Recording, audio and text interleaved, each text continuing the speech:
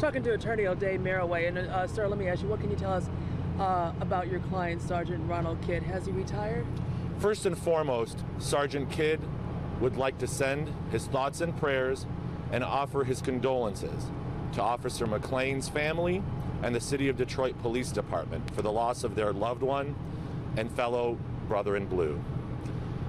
While Sergeant Kidd mourns the loss of Officer McLean, nothing he could have done on that night could have prevented the tragedy that occurred.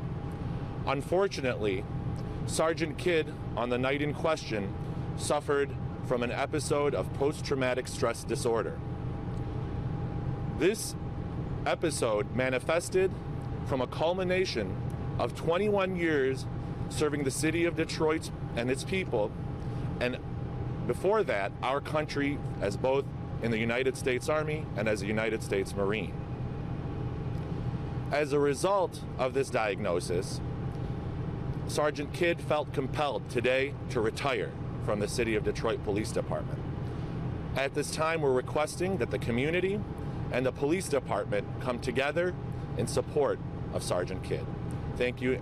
No further questions.